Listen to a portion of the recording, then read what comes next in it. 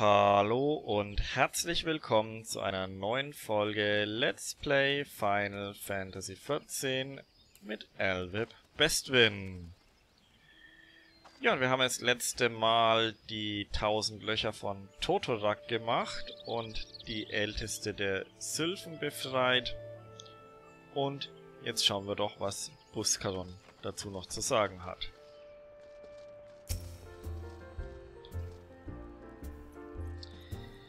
Da bist du ja wieder. Und? Hast du die älteste der Sylphen gefunden? Na, da hast du ja einiges erlebt. Aber es hat ja nochmal ein gutes Ende genommen.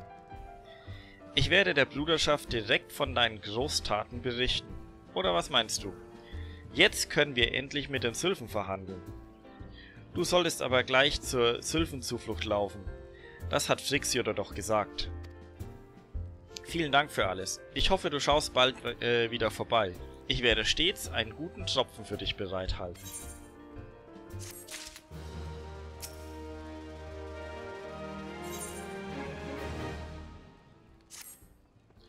Hast du vor, gleich jetzt zur Sylphenzuflucht zu gehen? Könntest du etwas für mich mitnehmen? Zur sicheren Rückkehr ihrer Ältesten möchte ich den Sylphen etwas schenken. Außerdem will ich meine Hoffnung ausdrücken, dass wir weiterhin in Freundschaft verbunden bleiben. Schließlich sind wir gewissermaßen Nachbarn. Seit der Katastrophe hat sich der Wald stark verändert. Die Gebiete sind geschwächt. Bis das Gleichgewicht wiederhergestellt ist, müssen alle freiheitsliebenden Wesen des Waldes zusammenhalten. Nur wenn Gridania und Sylphen zusammenarbeiten, können wir den Wald beschützen. Das Geschenk soll ein Zeichen unserer Verbundenheit sein. Habe ich jetzt hier als Geschenk bekommen? Aha. Ein Assima Rosenöl, okay. Dann gehen wir doch gleich mal zur Jagdhütte der Hawthorns zurück.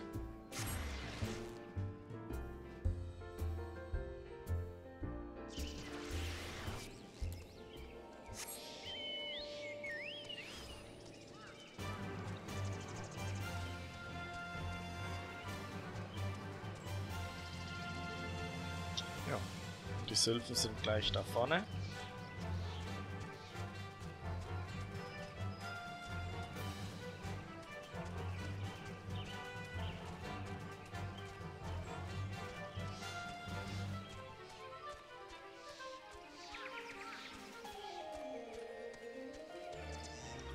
Ah, was will denn? Knolexia. Okay. Ich dachte, wir sprechen jetzt gleich mit der Ältesten.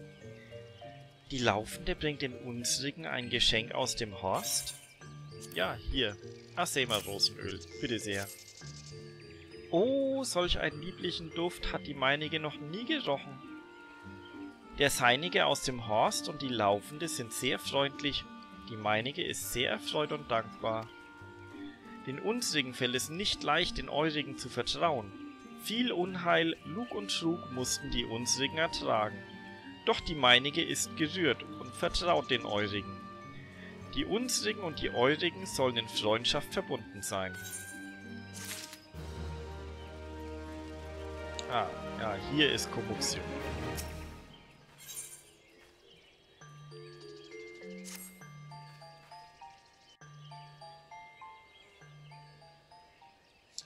Oh, die deinige ist gekommen. Die meinige wird die ältigste rufen. Ältigste Frixios, Besuch ist da.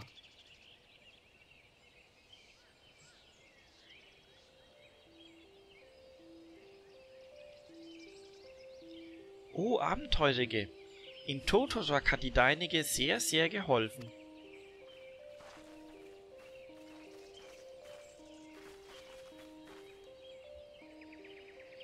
So treffen wir uns also schon wieder, Elve Bestwin. Und die Beiträgen haben Noraxia geholfen. Vielen, vielen Dank. Nicht der Rede wert. Aber wieso wart ihr eigentlich an jedem Ort? Vor einiger Zeit sind im Wald die gemeindigen Galea aufgetaucht. Die unsrigen wollten den Grund dafür finden. Deswegen beobachteten wir die Stör Störfriedigen. Aber die Metalligen entdeckten die unsrigen und die unsrigen mussten fliehen und waren plötzlich im Südwald.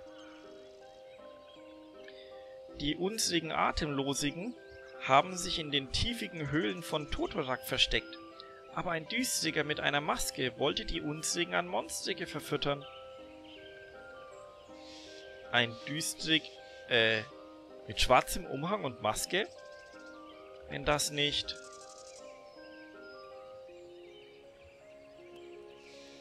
Ja, es besteht kein Zweifel. Hört zu, Frixio. Wir sind als Gesandte aus Glidania hier.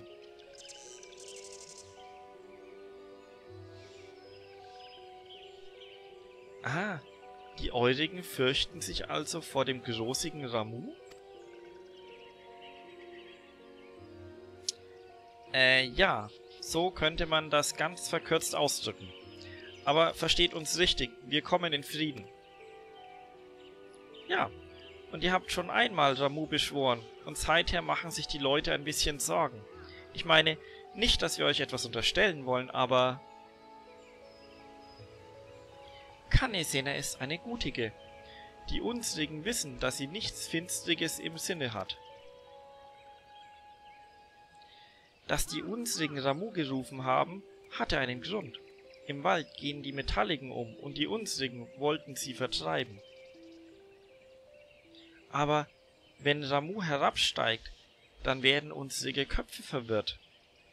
Wie wenn sie nur leerige Blätter wären und Ramu drinnen wohnt. Die unsrigen in dieser Zuflucht sind dagegen, dass die finstrigen Sylphen Ramu beschwören. Oh, ganz schön beeindruckend, dieser Bart von Ramu.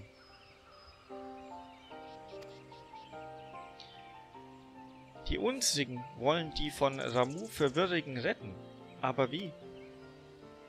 Ramu ist ein beschütziger Guter. Auch wenn die Unsrigen ihn gerufen haben, solange die Eurigen nicht in unsrige Gebiete kommen, wird nichts Schlechtes geschehen. Die Unsrigen wollen keinen Krieg mit Gridania. Deswegen bitten wir die Eurigen um Zeit. Die von Ramu beeinflussten Sylphen können sich seiner Macht nicht entziehen. Und da Ramu ein Schutzgott ist, der sein Gebiet mit aller Kraft behütet, werden auf sie keinen Millialen weichen. Und wenn jemand zu, zu nahe kommt, schrecken sie vor nichts zurück. Aber wieso sollten sie die Sylphen aus der Zuflucht entführen wollen? Wahrscheinlich, um sie wieder einzugliedern und Ramu zu stärken. Jedenfalls hat der Primai und die von ihnen beeinflussten ganz verschiedene Besonderheiten. Wir können sie nicht einfach unbesehen angreifen. Kurz was trinken, Moment.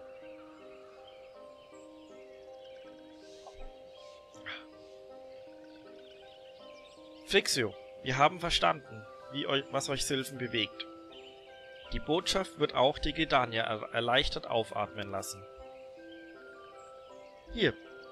Dasjenige ist ein, eine Schrift mit den Regeln den, und Gedanken der unsrigen. Gibt es den Eurigen und die Eurigen werden noch besser verstehen.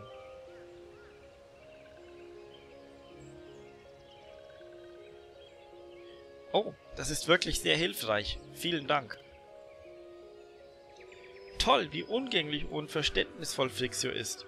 Da könntest du dir ruhig ein Scheibchen abschneiden, mein Lieber. Dass du was von Verständnis faselst, Ida.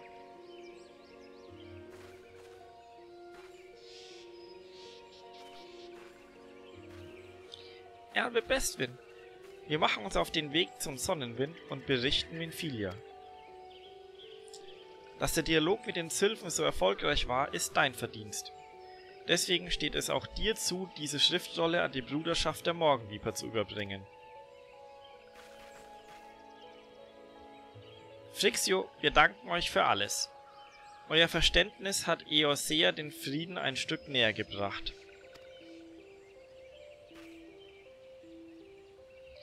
Oh, auch die unsrigen danken sehr. Mögen die Friedigen letztlich siegen.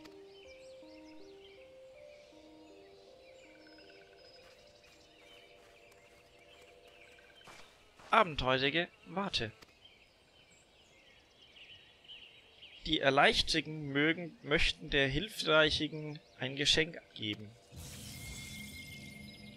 Dieser blitzige Kristall von damals, als Ramu, ist von damals, als Ramu den, zu den Unsrigen gekommen ist. Ah.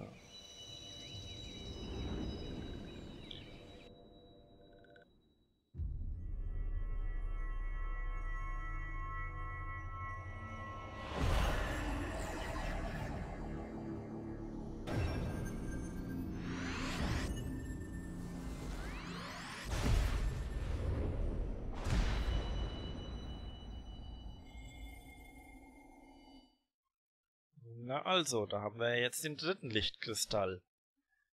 Drei weitere werden wohl folgen. Oh, die meinige wusste es, eine Erwähltige.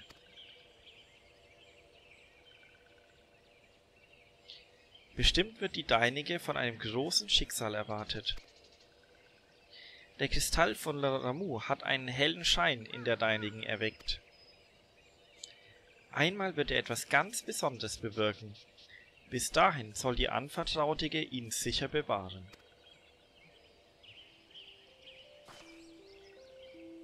Und die meinige hat eine Bitte.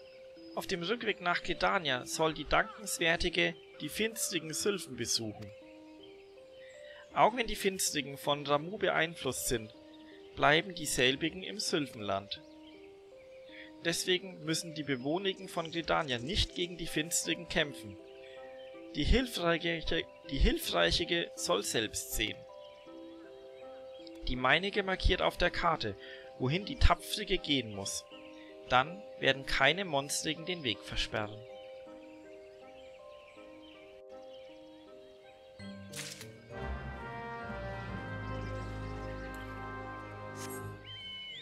Okay kleinen Abstecher da hinten hinter diese Brücke.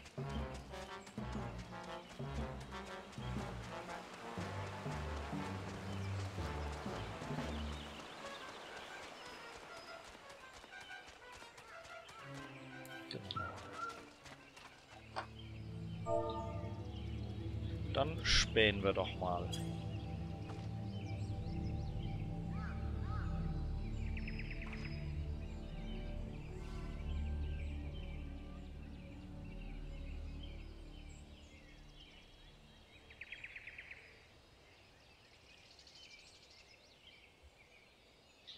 Du siehst besessene Sylphen in einiger Entfernung. Sie stellen offensichtlich keine Gefahr dar, solange du dich nicht zu tief in ihr Gebiet eindringst.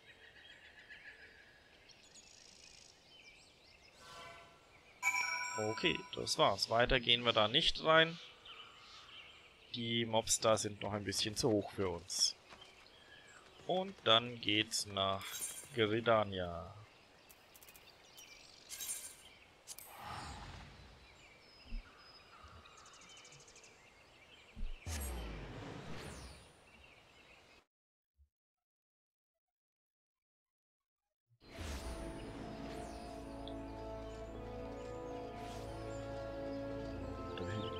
Dann schon Versailles.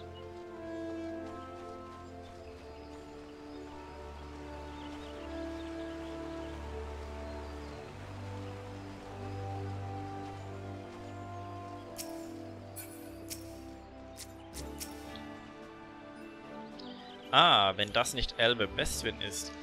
Wie ist sein Treffen mit dem Zülfen verlaufen? Ja, hier, Brief von der Ältesten.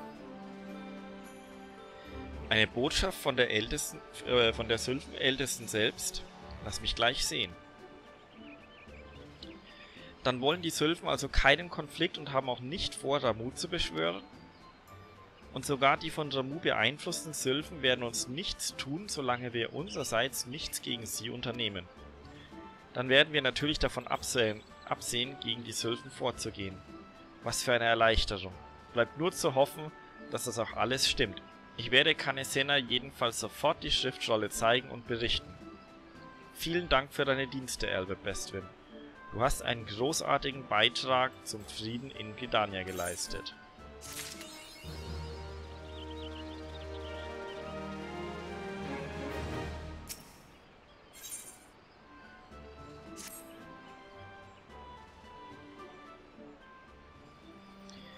Hast du in der Angelegenheit mit den Sylphen Einfühl... Du hast mit den... Äh, du hast in der Angelegenheit mit den Sylphen Einfühlungsvermögen und einen wachen Verstand bewiesen, Albert Bestwin.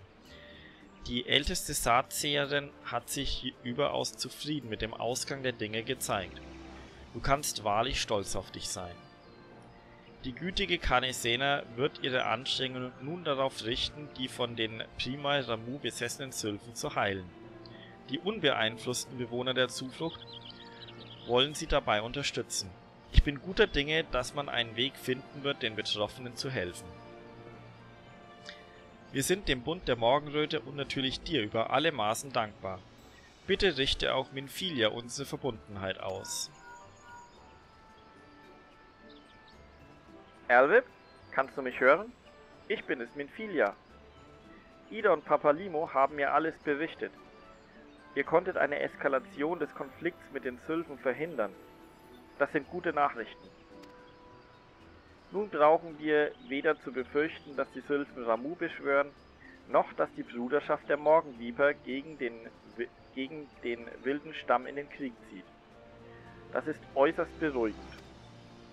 Ich wäre dir dankbar, wenn du für eine Besprechung der aktuellen Lage einmal im Sonnenwind vorbeischauen könntest. Wir erwarten dich hier, Albert.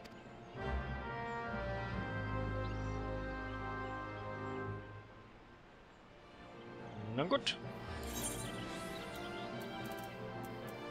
Camp Horizont, ich komme.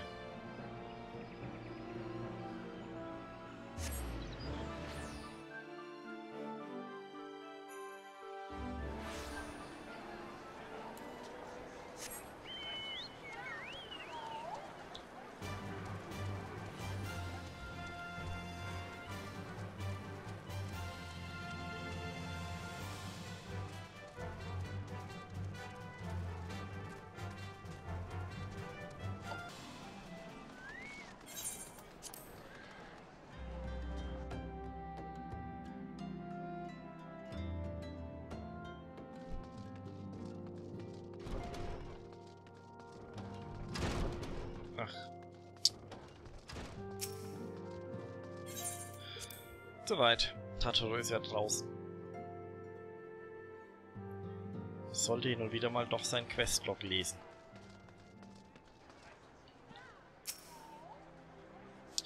Willkommen zurück, Elvib. Danke für deine Hilfe in der Sache mit Ramu.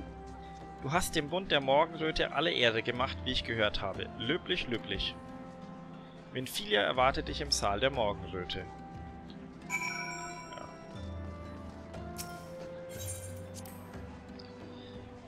Jetzt geht's doch wieder in den Saal der Morgenröte.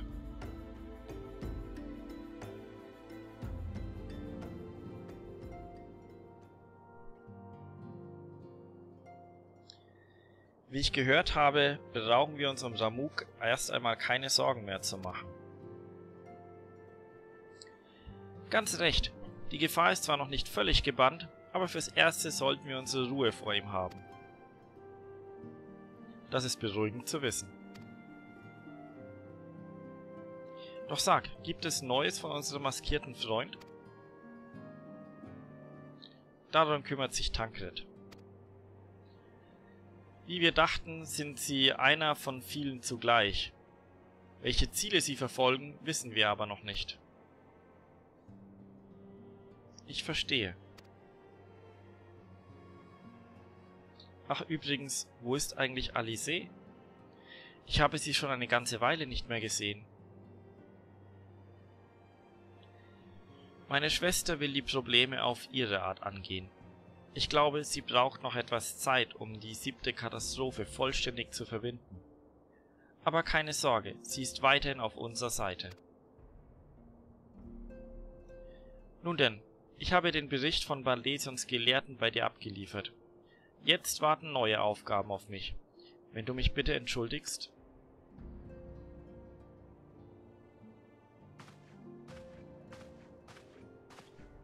Wir werden diese Angelegenheit wie geplant weiterverfolgen, oder? Selbstverständlich.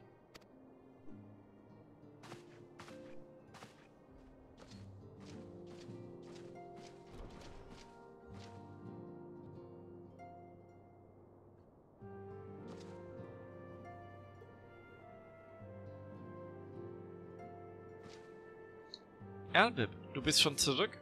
Das ging aber schnell. Es ist schön, dich wieder bei uns zu haben.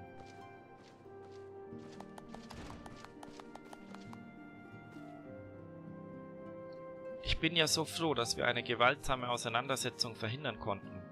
Ohne dich wäre das niemals möglich gewesen. Vor den Primae Ifrit und Ramu hätten wir damit für die nächste Zeit nichts zu befürchten. Wie schön, dass die Sylphen mit sich reden ließen. Wer ist der nächste Primae? Die Sahagin und Leviathan? Ihr Primae Leviathan scheint auf die Rufe seiner Anhänger in jüngster Zeit nicht viel zu geben. Das treibt die Fischköpfe natürlich nur dazu an, es umso, mehr, umso häufiger zu versuchen. Leviathan ist für seinen unersättlichen Ätherhunger bekannt. Vermutlich ist es den Sahagin noch nicht gelungen, genügend Kristalle aufzutreiben. Ich denke, wir können sie fürs erste ruhigen Gewissens ignorieren. Fürs erste, ja. Ob Ramu oder Leviathan, die Motive der wilden Stämme sind unergründlich und ihr Handeln entzieht sich unserer Kontrolle. Niemand kann sagen, wann und wo wir ihnen und ihren Göttern gegenübertreten müssen. Wir sollten daher weiter unsere Pläne verfolgen, um für den Fall der Fälle gewappnet zu sein. Die Konfrontation ist unausweichlich und nur eine Frage der Zeit. Und was ist mit dem Prima der Kobolde? Mit Titan? Mit der Observation der Kobolde ist derzeit der Malstrom aus Limsa Lominsa beschäftigt. Sicher werden wir schon bald von ihm hören. Einen weiteren Prima gibt es allerdings noch, meine Freunde. Ja genau, Garuda. Die habe ich eigentlich gemeint. Sie ist der Prima der Ixal, die in Gridania leben. Dass ich sie mit Leviathan verwechseln konnte. Was einmal wieder vor Augen führt, wie weitläufig Eosea eigentlich ist. Kein Wunder, wenn man da die Nadel im Heuhaufen nicht findet. Gäbe es doch nur einen Weg, der uns das langwierige Suchen ersparen würde. Wäre er doch noch bei uns in dieser Stunde. Er wüsste bestimmt einen Rat.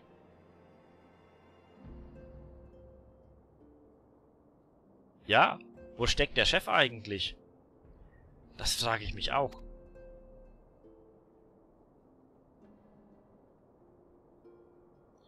Nun, wie auch immer. Unsere aktuelle Mission war jedenfalls ein voller Erfolg. Das sollten wir feiern. Die Bruderschaft und der Rat der Saatseher höchst selbst werden ein wachsames Augen auf die Sylphen haben. Wenn sich dort etwas tut, erfahren wir es sofort. Also, meine Freunde, ruht euch erst einmal aus von den vergangenen Strapazen. Ihr habt es euch redlich verdient.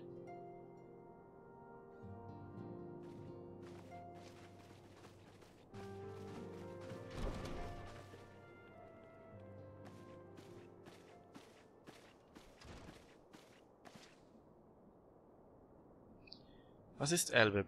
Bist du denn gar nicht müde?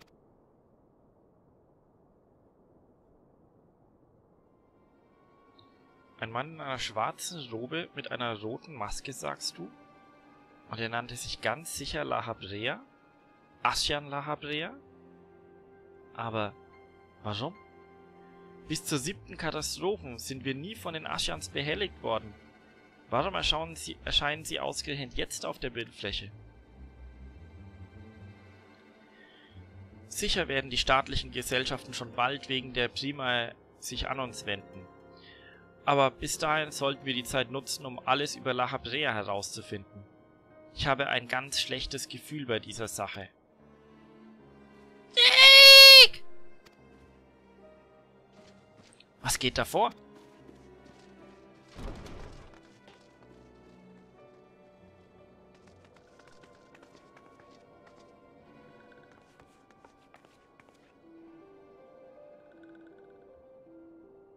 Eine Sylphe.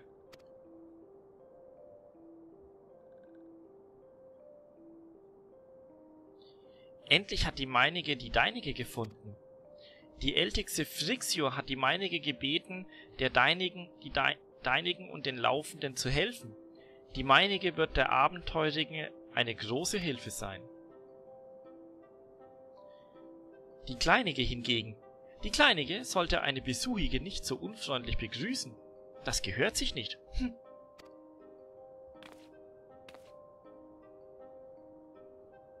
Äh, kommt nicht wieder vor, ich verspreche es.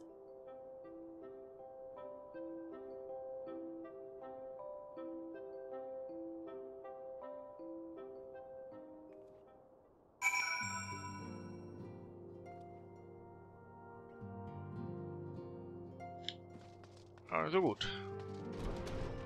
Schnell noch zum Infilia und die Quest abschließen.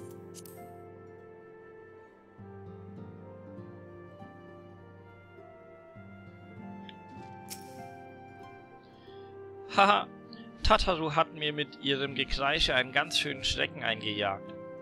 Dabei sollten wir eigentlich jubeln, dass der Bund der Morgenröte eine neue Verbündete gewonnen hat. Erst haben sich die Völker die Hände gereicht, jetzt schließen sich auch die wilden Stämme unseren Reihen an. Zaghaft zwar, aber es ist ein Anfang. Die Sylph ist ein erfreuliches Zeichen dafür, dass Eoser dem Frieden wieder ein kleines Stückchen näher gekommen ist. Doch die Aschans wollen sich unserem Glück in den Weg stellen.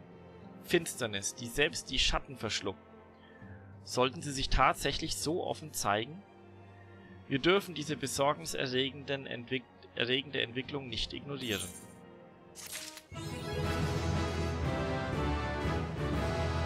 Jo, und damit bin ich ein Sylphenfreund von der Errungenschaft und Level 28 geworden. Und ja, beim nächsten Mal gibt es dann wieder eine Klassenquest, bevor uns Winfilia einen neuen Auftrag gibt. Bis dann, macht's gut.